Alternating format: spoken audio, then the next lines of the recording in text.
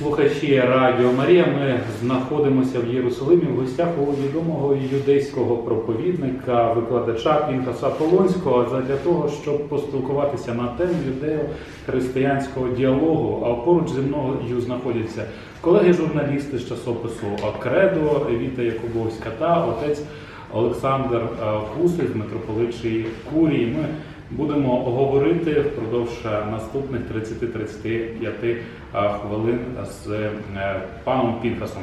Приветствую вас. Добрый день. Э, Пинхас, ну, э, мы представители католической веры, религии, нас интересует вот что. Смотрите, когда-то папа Франциск, будучи в Израиле, э, папа Иоанн Павел II сказал, что э, иудеи это наши стар- э, старшие братья. А Скажите, пожалуйста, какое отношение юдеев к католикам? А Вы признаете нас как младших братьев или же есть какие-то определенные нюансы? Нет, такой, иудаизме нет такого специального термина «младшие братья». Э, Значит, э, вообще отношение э, евреев к христианству, ко всем направлениям христианства, проходит очень сильную трансформацию, вообще весь 20 век проходил очень сильную трансформацию, сегодня тоже. Как, собственно, отношение христианства к иудаизму. Вообще и христианство, и иудаизм проходят, обе религии проходят очень сильную трансформацию в 20 веке, как сами по себе, так и в своих взаимоотношениях. Теперь, э, сама по себе, поэтому вот эта внутренняя трансформация, я думаю, что она является главной, а отношения являются следствием из этой внутренней трансформации. Э, то есть это не то, что для отношений мы делаем трансформацию себя, а наоборот. Мы делаем трансформацию себя, потому что это сущностно важно и нужно. А следствием этого является также и новый уровень диалога. Теперь, главная трансформация, которая проходит в иудаизме, связана с созданием Израиля.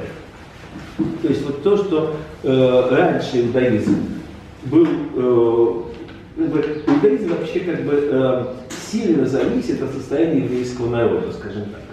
Когда еврейский народ рассеян в диаспоре, не имеет своей страны и фактически еле выживает, и все усилия тратятся на сохранение, то, соответственно, иудаизм нацелен на сохранение. И именно таким был иудаизм в течение, ну, примерно двух тысячелетий, скажем, немножко меньше, почти двух тысячелетий после разрушения храма, поражения восстания Баркурба, изгнания из страны, то есть начиная там с 3-4 века новой эры и по 19 век иудаизм занимался только одним – сохранением.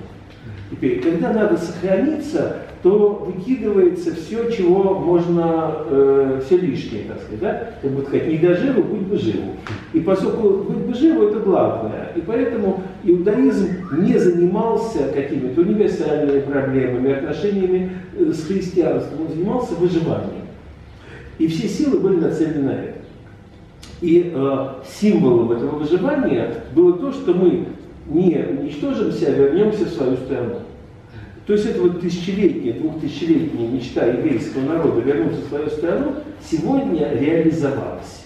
И эта мечта, она оказалась совершенно эсхатологической. То есть казалось, что это когда-нибудь в конце времен примерно то же самое, что придет Машех, и волк ляжет рядом с ягненком, и крикуют мечи на орала, ну и евреи возвратятся в свою страну.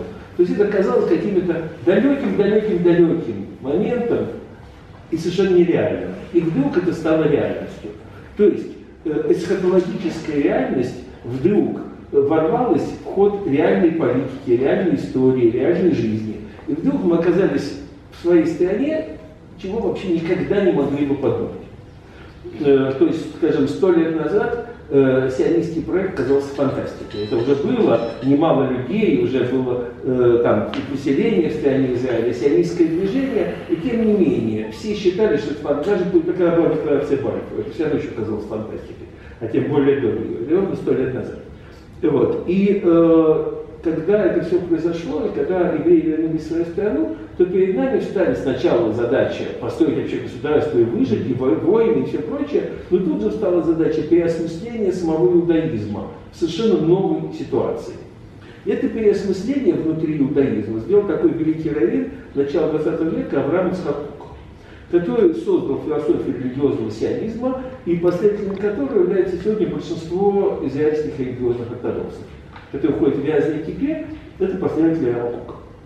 И вот эта позиция, она говорила, что от того, что мы возвращаемся в свою страну, все меняется.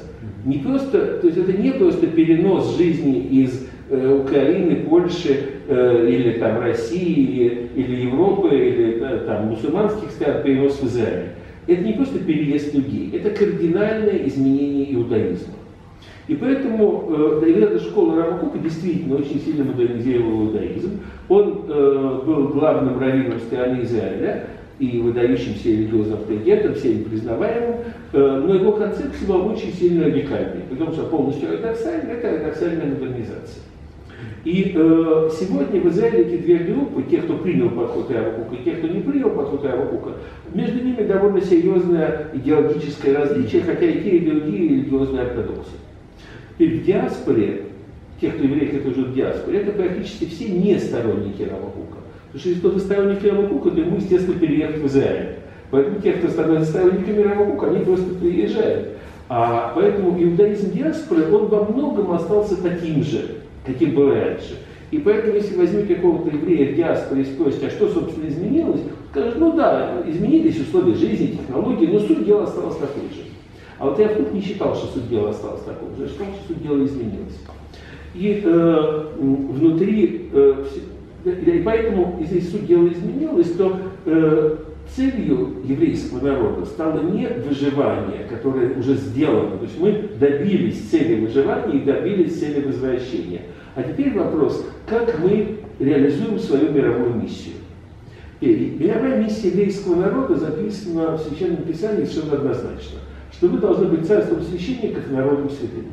Вот эта вот функция быть царством священников и народом святым означает э, э, э, то, что именно через еврейский народ миру приходит божественный свет. Так он пришел, приходил в прошлом, как все Священное Писание, был дано в стране Израиля и через еврейский народ. Вот эта вещь, эта вещь возрождается. То есть фактически мы возрождаем библейский иудаизм здесь. Это иудаизм диаспоры и библейский иудаизм это разные вещи. Они как бы связаны, естественно, но в диаспоре было просто невозможно реализовать библейский иудаизм. Фактически мы возрождаем Библию здесь. То есть живая Библия это и есть мы сами.